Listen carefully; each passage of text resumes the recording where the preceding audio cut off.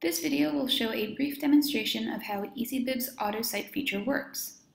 Let's say that I'm writing a research paper on 3D printing and I want to include this article from TechCrunch about a 3D printer that costs around $1,000, which is relatively affordable by 3D printing standards.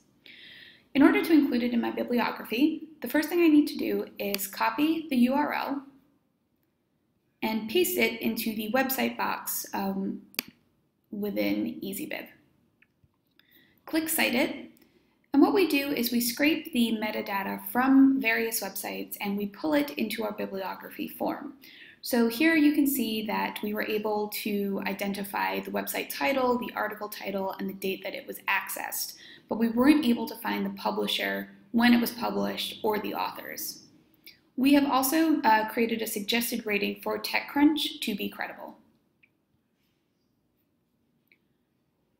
Within the bibliography form, uh, we highlight various areas that our users should pay attention to. So you can see here that um, the title may be a little bit long, so it's worth uh, giving it another look. And yeah, I may want to take out this extra bit at the end uh, where it says TechCrunch.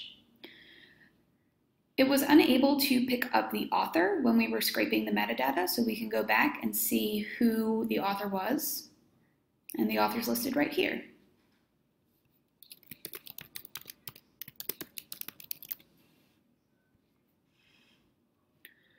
We also were unable to scrape the publisher or the sponsor, and this can be a little bit tricky for students to figure out where to find it. Um, we have resources on our blog that um, will help teachers teach these sorts of skills to students. Um, and we always encourage students to take a look to find out maybe at the bottom to see if there's any sort of publisher there. So yeah, it looks like all of the content on TechCrunch uh, is copyrighted by AOL Incorporated.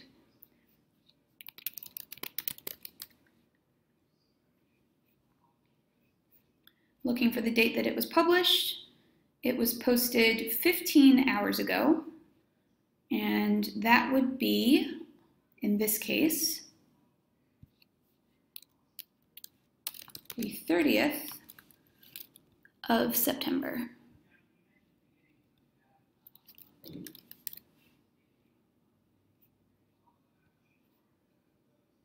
And we can just go through, double check that everything is right. And all you have to do is click Create Citation, and EasyBib has properly formatted the uh, website citation using AutoCite.